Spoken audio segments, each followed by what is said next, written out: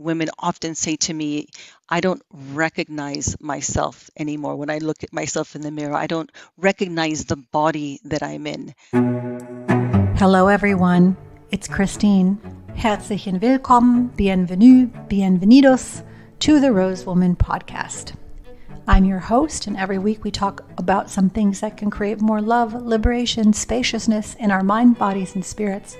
And today we are talking with Gabriella Espinosa, who is a woman who dives deep into yoga for all stages of life. And one of the key components of her teaching is yoga and self acceptance. So I thought I would begin by talking to you a little bit about the Yoga Sutras and some of the aspects of those bits of the ancient text that can promote self acceptance. So, you know the yoga starts out with basically a little kind of 10 commandments the yamas and the niyamas, the things you should not do and the things you should do. And there are five of each. And that comes even before you're doing breath work or you're doing postures. It's like, how do you live? How do you walk in the world? What's your core attitude?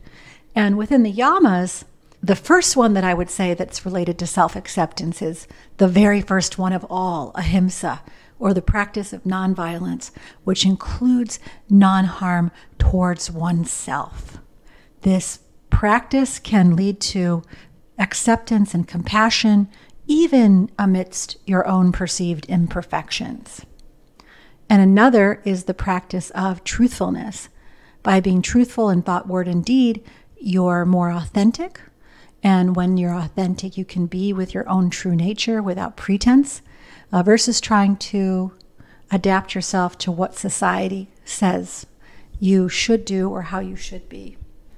Other practices like svadhyaya or self study uh, is an encouragement to do introspection and self reflection to understand and accept one's strengths and weaknesses.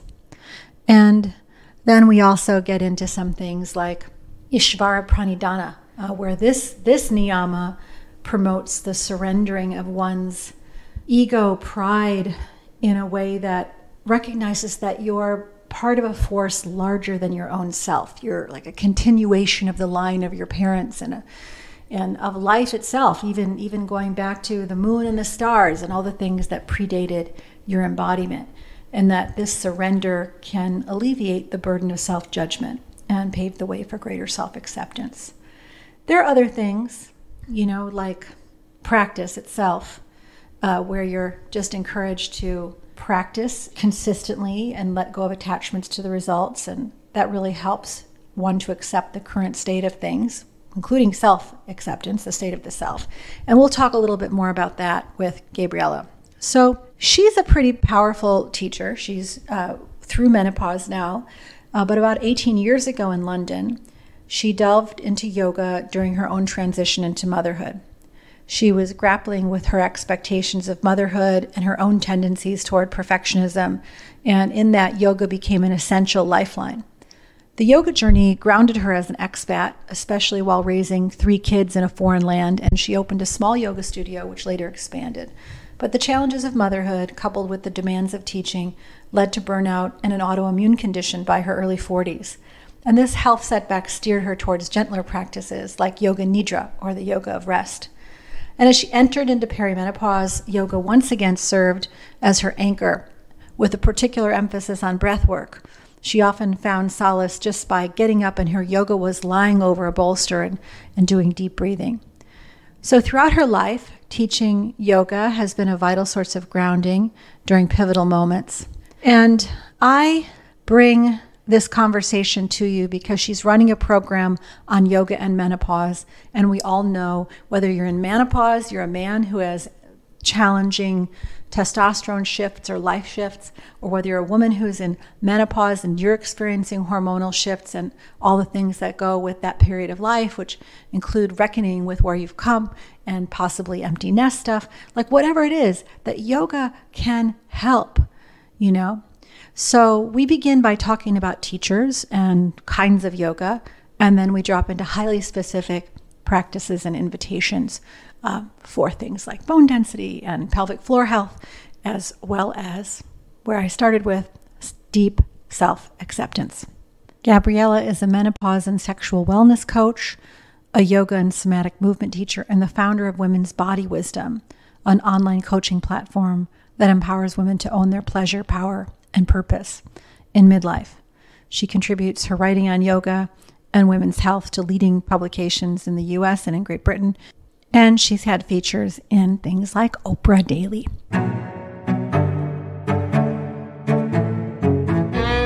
My yoga journey began about 25 years ago. I was seeking balance in a busy professional career, corporate career, marketing and PR. It took me around the world. And I found, or yoga found me in a gym in in um, downtown San Francisco where I was working at the time, and you know I had been a dancer and a gymnast, so for me it felt very much aligned with the way my body moved and felt in the world.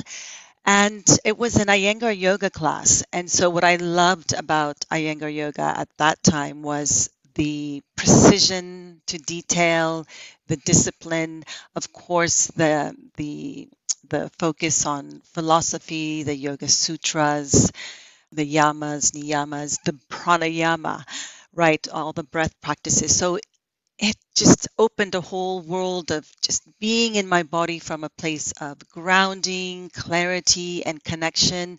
And it's just been my my true and steadfast companion um, throughout enormous periods of change. It's anchored me through being a career woman, through motherhood, being an entrepreneur, um, menopause, empty nesterhood, which I'm now entering, and also now post menopause.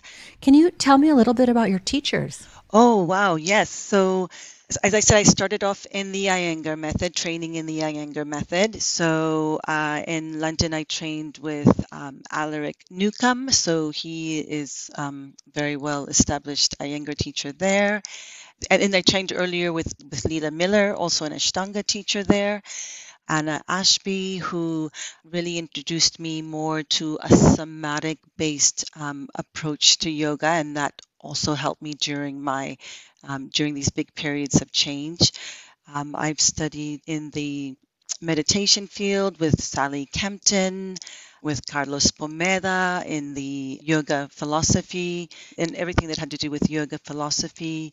Oh my gosh, so many teachers Richard Rosen, Bill Mahony, all of them really um, opened the door to just this self inner exploration that I feel is such a gift for me and, and, and the people I coach. Mm-hmm. I mean, I think of yoga kind of as snow sports. Like you can't just say I do snow sports.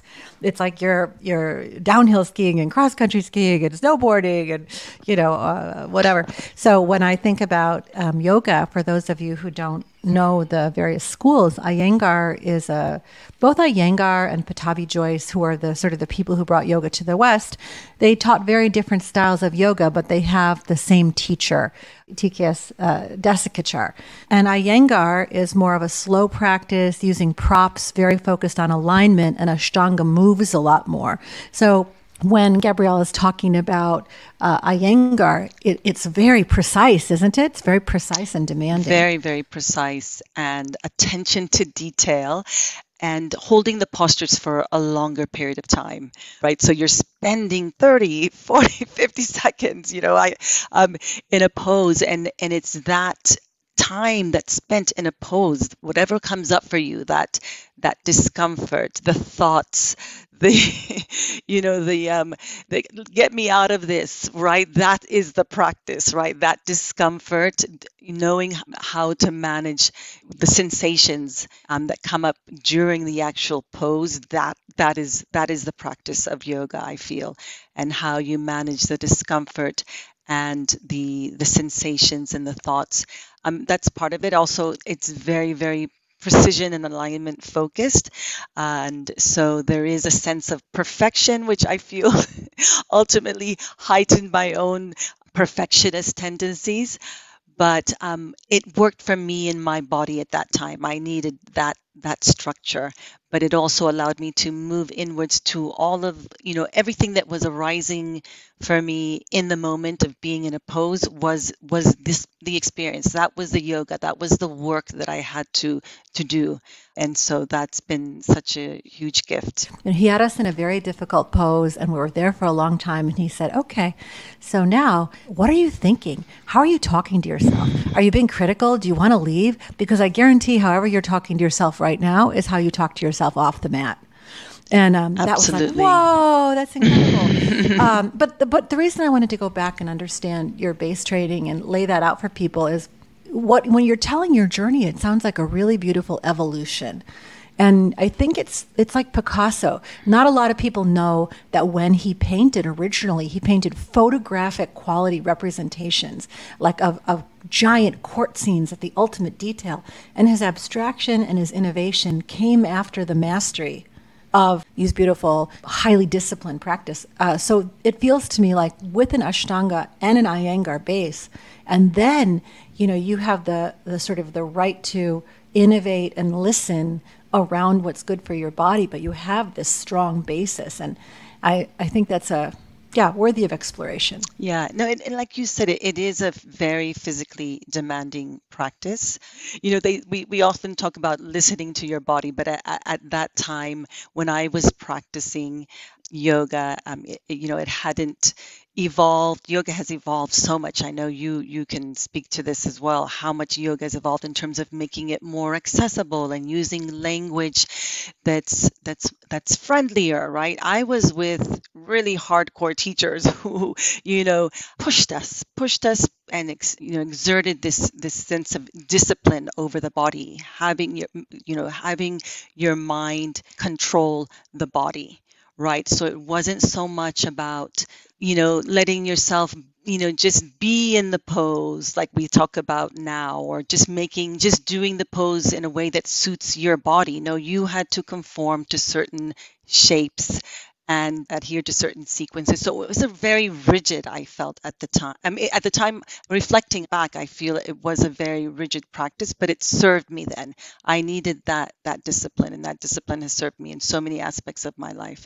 Um, and when I became ill with this autoimmune condition. And then when I headed into menopause, I really realized that I had to shift my focus. And so the beauty, I, I, guess what I'm trying to say is that yoga, there's so many practices to turn to. So if you want a more, you know, more disciplined physical approach um, to um, interacting with your body, there are practices like Ashtanga and Iyengar, but then there are beautiful, more restorative practices, the you know the yoga nidra, the yoga of rest, of sleep.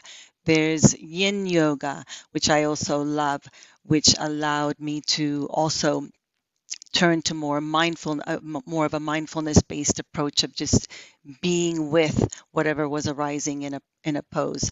Um, so I think there's so much to explore. I, I, I, guess I'm speaking to people who have never practiced yoga. Um, there are so many entry points into the yoga practice, and yoga really is accessible to every body. Um, I think you just have to find the right teacher and the right practice that that suits your lifestyle and your body at whatever particular phase of life you're in. There's something in this piece around dominating the body and disciplining it that when you get this autoimmune condition or you head into perimenopause, and the body seems to have you know, it's doing its thing and you can't really control it anymore. And I feel there's a there's a piece that we should explore in there about the mindset when the body begins to change. You know, are you going to resist it? Are you going to go with it? Are you going to try every supplement and every fix? You know, how how do you even approach philosophically the life change of perimenopause and menopause in a way that welcomes harmony with the body? Yeah, I love that question. That's that's been my my lifelong um, exploration. I feel since since um, since beginning yoga and and also the different hormonal shifts that that we um, inevitably experience as women. They they take us into you know the this unfamiliar territory of, um, of fluctuating hormones of fluctuating emotions and and physical sensations. And i think it's it doesn't help that you know we've been conditioned to feel that the body should look and be a certain way so especially as women. And so we begin to feel that our bodies are no longer working that we're broken or that we need to be um, fixed in some way I definitely feel menopause. Perimenopause is one of those shifts in our in in a woman's life in which we need a new narrative to experience our bodies differently and i feel it's a time to embrace this transition and to connect with the the rich and, and multi-layered aspects of being female from a place of curiosity openness um, compassion acceptance and, and, a lot of the work that i do with women um, in my yoga teaching and in my coaching is allowing them to come to a place of acceptance of where they are in their particular stage of life. I'm pausing there to to just reflect. Yeah, one of the things that um, women often say to me when they when they come to me is, I don't recognize myself anymore. When I look at myself in the mirror, I don't recognize the body that I'm in. And it really is a process of returning to yourself, right? The, the practices of yoga that they teach us, right? To re- returning to your wholeness, that all bodies are whole and complete and beautiful just as they are. And it is a, a, a matter of really shifting the stories, the narratives we carry around about our bodies and engaging in practices that really allow us to appreciate these amazing vessels of life that that we that we have that we've been gifted. I want to say Paul Grilley. Do you remember him, Paul? Oh yeah, yeah, yeah. I studied with him too. Yeah, the yoga anatomy guy. Um, mm-hmm. So there's this guy, people who uh, would start his workshops on yoga anatomy by bringing people from the room up to the front and lining them up next to each other, maybe five or ten people. And then he would have them hold their arms out. And there's a thing in yoga called a carrying angle, which is the angle between the elbow and the forearm. And mm-hmm, mm-hmm. depending mm-hmm. on how that went, you would tune your practice to, you know, either bend the elbow a little bit more, extend the elbow a little more, use more muscle tone, and then you'd have particular escape valves in the posture uh, that you would tend toward. But he also said that to look at like the hip opening, that people would mm-hmm. have such shame about not being able to do the splits or being flexible, when in reality, their the bone of their femur was just hitting the inside opening of the hip socket, and they were never, no matter how much stretching they ever did, going to get wider uh, in their their wide-legged forward bend. It was never going to happen. And when I was looking at that, I thought about all the moral judgment and the shame about being perfect or like doing a posture right or getting it to look a certain way that I had carried. Um, and then I'm looking at these bodies, and there's a long, lanky grasshopper girl, and there's like a woman who looks like she could win a boxing match. And they were all so beautiful and they were never going to do the same things. And it was just such a mm-hmm. a moment of pause to kind of mm. see it from how he was seeing it. And then he shows X-rays of bone structures and yeah, was trying. Yeah. It was so magical in a lot of ways. I love. I I remember that. Um, yeah, he shows all those pelvises, right, and how their photograph of all those pelvises and how they look so so different one from the other, right? I just found that image so astonishingly beautiful, but also, yeah, like I said, so eye opening. And um, when you, eh, because I love looking at um, anatomical pictures and um, anatomy guides are my my favorite. Just looking at the wonder, right? This is so like, oh my gosh, how wondrous and awe-inspiring is um, a body. And when you look at how unique everyone's body is, you can then look at it from that place of like, awe and wonder and wholeness. Like we're all made so beautiful just the way that we are. You know, that also goes to speak to our own experience of moving through midlife and menopause. Each of our journeys is going to be different given our you know biological and physical and emotional makeup and so really making it um, an individual journey for you really making it a journey of getting to know yourself better, um, not only at a physical level, but an emotional and um, level and an energetic level. Really using this opportunity to get to know yourself so that you can step into really the best version of yourself and, and, and from a place of acceptance and also compassion. You know, just because you can't do that, that split or you'll never be able to touch your toes doesn't mean that you're not whole and perfectly well made just the way that you are. I was with family this last 10 days and it's people from, you know, I think the youngest is 10, but women from 25 to 80. And the feeling tone of being sort of somewhere in the middle or toward the end, it, there is a sense of grief or loss or something. And I'm, you know, still fit and active and all of those things. And there's a piece of just saying, like, do I accept this life stage and what does it mean that I find myself dealing with?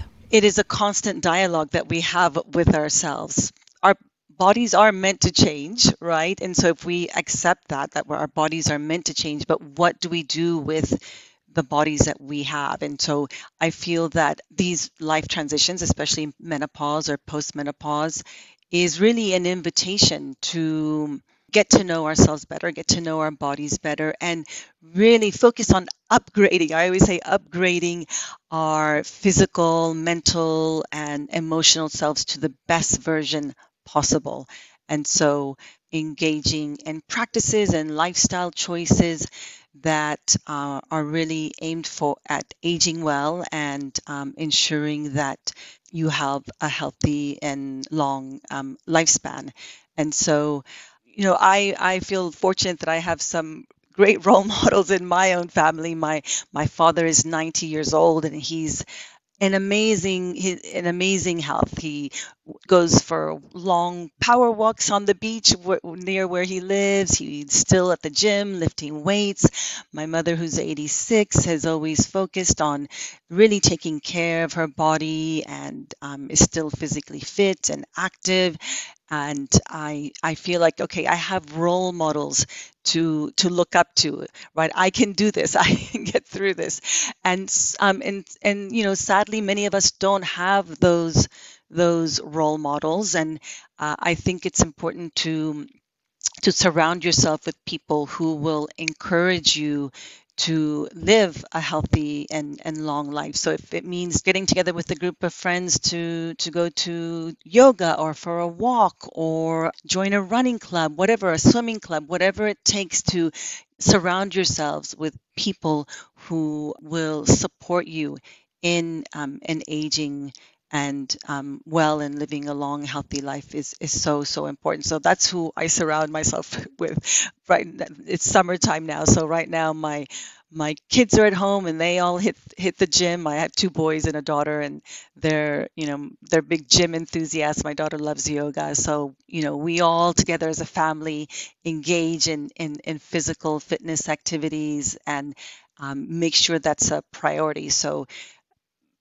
you know, physical fitness, eating well, healthy lifestyle, we make a top, top priority. And it's something that I feel is important, right, in terms of who you, you surround yourself with. Let's talk about the yoga part of healing the body in midlife. Like, I know there are a lot of poses for endocrine regulation and thyroid and all of that stuff, but do you think there's a particular asanas that help with hormonal balances and managing the changes? Yeah, I feel that yoga is one of the best forms of movement for for women as we move into the menopause transition. So we know that stress is a big driver of a lot of the, the, the menopause symptoms, a lot of the menopause, uh, hormonal imbalances that, that we experience. So I love to start with just the basics and, and, and and starting off with with breath work. I feel breath work is a beautiful way to regulate the nervous system move you into that parasympathetic rest and restore state. So i often and i, I feel like we're always um, you know so busy running around disconnected from our bodies and we don't breathe properly. So i always start with the very basics and teaching women how how to breathe properly, just starting with very simple diaphragmatic breathing and then moving on to um, other pranayama practices. And I, uh, I also love, love, love restorative yoga as a way of relaxing and restoring the body. So we need to bring the body into that parasympathetic relaxed and restore state so that we can you know lower our cortisol levels you know high cortisol levels really do a number on dysregulating our hormones so restorative yoga long held postures on bolsters yin yoga also offers that that opportunity of you know staying in poses for a longer period of time and working with the breath and working with um, being present to what is what is arising in the body. So um, again, I just always start with breath work and more restorative practices like yin um, or even yoga nidra, the you know the yoga of sleep. I love love that as a as a practice to bringing us into um, that that place of deep deep rest, which is so necessary to restore the the body during this transition for sure. Tell me a little bit about the program that you guys are running. Oh, so I'm um, I teach uh, on an online platform called Movement for Modern Life, and so Movement for Modern Life has um, created a um, menopause for modern life program. It's the first of its kind menopause yoga program, and so we've brought together uh, experts in um, different modalities. We have yoga classes, audio interviews, educational information on the menopause transition. It's really helps um, give women practical advice on how to manage the physical, psychological, and emotional symptoms of, of menopause. And so the classes really help you through the symptoms. There are specific classes that help you address certain symptoms um, like bone strength, um, pelvic floor um, support, hot flashes, sleep, all the collection of, of symptoms that we experience during the menopause transition are supported either by nutritional and lifestyle guidance on the course as well as you know over i think there are over about between 40 and 50 um, movement-based classes for all experience levels.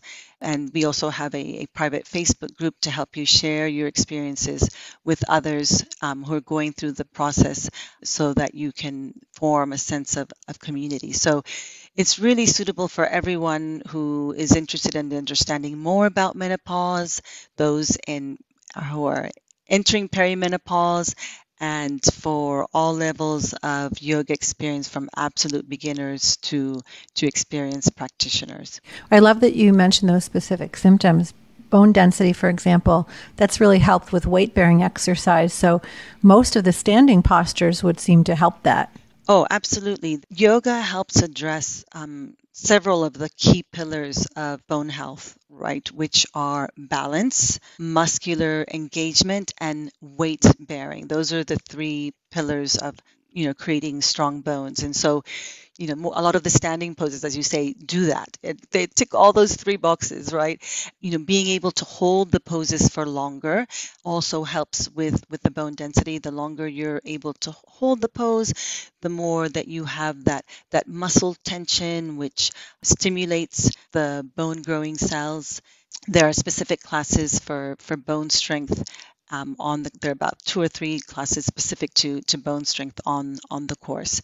There was a, a, a research study done by Dr. Loren Fishman, who is a doctor of osteopathy, I believe, and a yoga teacher, and he conducted this study with a group of um, menopausal women. Um, whereby he gave them 12 yoga poses to do over a period of six months, right? So these women did 15 to 20 minutes of these specific yoga poses daily for a period of six months, and they all experience improvements in bone density. So a lot of the um, the poses that were in this study are your typical standing postures in hatha yoga. You know, the tree pose, the warrior poses, the downward dog poses, all of the poses, which um, again engage the muscles, um, help you bear weight through the feet, the hands, and that also help you establish a sense of balance. All key pillars of, of bone health. And what about the, I mean, I know pelvic floor too, for a lot of women as they age, you have leaking, urinary incontinence kind of stuff. You have all kinds of um, strain, particularly if you have a lot of children like you did or I did, uh, that there are some things that can help contain that pelvic basin. There's the root lock and all of that kind of stuff. But what are you specifically seeing in that part of the classes? Oftentimes, with pelvic floor dysfunction, you know, women feel that the urinary incontinence or the leaking, those more embarrassing symptoms, means that, oh, my, my pelvic floor muscles are weak or they're loose right? And so I need to tighten them and I need to do my kegels or the pelvic floor locks that we're taught in yoga. But oftentimes, you know, the stress and tension we hold in our bodies, especially as we're navigating menopause, not only because of the symptoms, because of also day-to-day stressors if you you have teenagers or you're you know also tending to um, elderly parents just the demands of life cause us to hold tension in our bodies. So the that creates tension and contraction in the pelvic floor. So many of us are and, and we also sit for long periods of time if you're if you're working at a desk right? So that um, causes us to contract and tighten the pelvic floor. So many of us are walking around with excessively tight pelvic floors.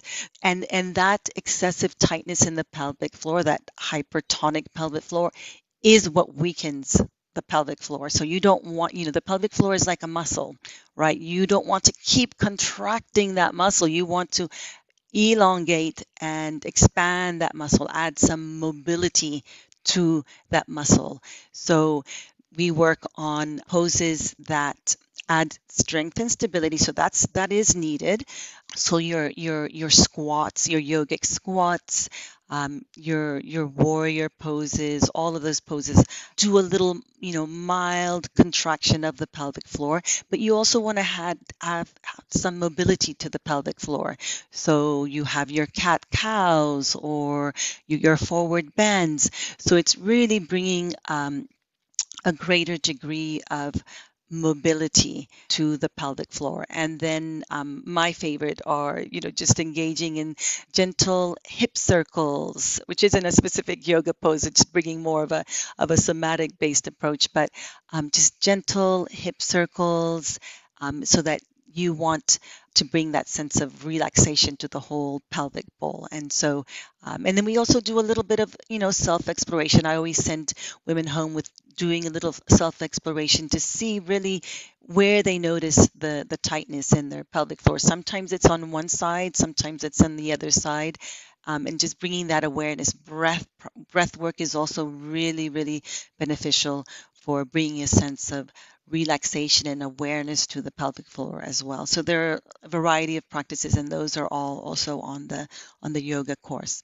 Mm. Yeah, I think by the time you look at sort of here are the body specific, the stage specific symptoms, and then you look at the wide variety of things you can prescribe, um, you're really getting some solutions. Even the stuff around sleep, like the yoga nidra that you mentioned, which you know, I, sometimes I'll wake up at three o'clock in the morning and I'll just drop in and I'll do a little deep breath work, box breath, or a little mantra until I have returned or like self hypnotized back to sleep. And I never used to have that. So if you're one of those people who's waking up in the middle of the night or like waking up at five o'clock in the morning and you're just like, ah, you know, I need a couple more hours, there are tools for that too. Oh, absolutely. I always used to keep a little um, yoga nidra recording next to me that I would turn on if I woke up in the middle of the night and just listen to that, or I would, you know, coach myself through a yoga nidra practice. I also find, you know, self-soothing um, practices, you know, using touch, just even hand on heart, hand on belly, and using that tactile sensation of letting um, the body know that you're there to support her. So using breath work with a sen- with with tactile sensation um, through through touch is also really really helpful. And then there are the restorative poses, and I always keep a bolster next to my bed. So if I need to just ro- roll out of bed and just come and lie on my bolster, it's such a soothing salve for me to know that I have some support there. So my bolster is, has always been my my my best friend. Not a great travel companion. I don't I'm not able to travel with it, but that's one thing I make sure if I go stay in a hotel or you know go into the, into whatever um, gym or yoga studio and try to see if I can make up some type of prop, um, use some type of prop to create a, a bowl. So you can also use cushions from a sofa, so or, or pillows from your bed. Just you know, stack them up and, and create that that beautiful supportive bolster like experience. So where do you think you are now in how you identify Gabriella who are you and who is your body? Like, what is your relationship to body and identity now that you've gone through all of these life stages? How do you, if the body's always changing, it's not really you, but where have you landed with that? Mm, I love that question. I really um, love this beautiful Sanskrit word. I don't know if you've heard of it, Sukrita. You know, Sukrita, the yogic scriptures refer to the body as sukrita, um, which translate into well made and beautiful. And so it describes the essence of our wholeness, you know, and, and just knowing that I'm whole and perfect just the way that we are, right? Free when we when we can free ourselves of the internalized beliefs and cultural and systemic conditioning, we come into this remembrance that all bodies are sukrita and and well made and that has been a huge journey for me right? As as women you know are self-loathing and comparisons and envy constant striving for the ideal body puts us at war with our own bodies and the bodies of others right? That's then that's been part of my my journey. Um, and and after giving birth to a daughter right 21 years ago i i really made a conscious choice to show up differently in my body kinder more loving and accepting because i knew the thoughts and beliefs about my body would impact her. And then also when i began interacting with other bodies as a teacher i i knew i had to be at peace with my own body to appreciate and embrace the full spectrum and, and wholeness of all bodies that were in front of me.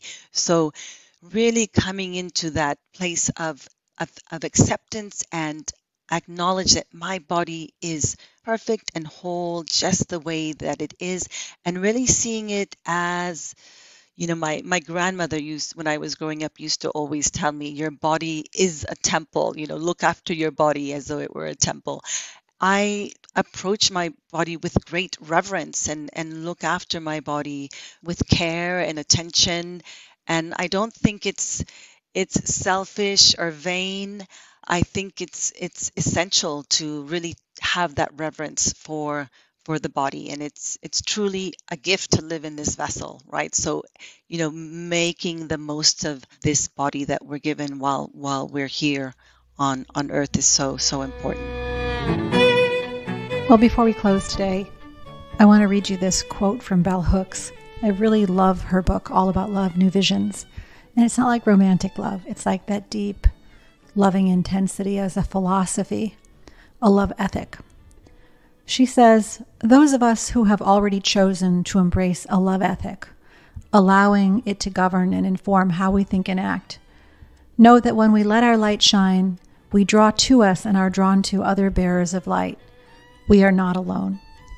So that's what I wish for you today that no matter what's happening, the perceived imperfections of your day or your life or you or the people around you, that we drop that judgment. We remember ahimsa, the nonviolence towards self and others, and embrace that love ethic, that we walk in the beauty way. You can find me on Instagram at the.rose.woman.